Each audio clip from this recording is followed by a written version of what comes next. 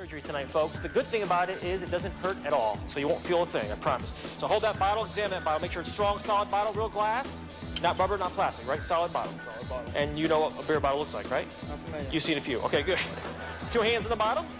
Perfect. All right, I'm going to cover it up so that in case anything happens, nothing gets on me. Okay, good. So it's a little bit lower.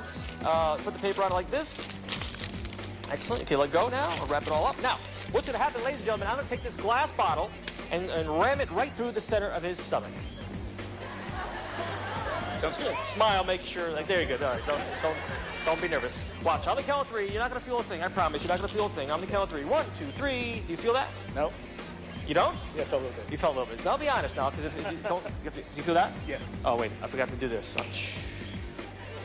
That, that does it all the time. Watch, here we go. You feel that? Oh, it does. Yeah. Okay. Uh, do me a favor. Cross your arms like this. Good. Now watch closely. On the count of three, keep an eye on the bottle. Here we go. Watch. Nice and slow. One, two, three. Did you feel that? Didn't feel a thing. He did it. Totally unharmed. Give a nice round of applause. Thank you very much. Watch yourself going down.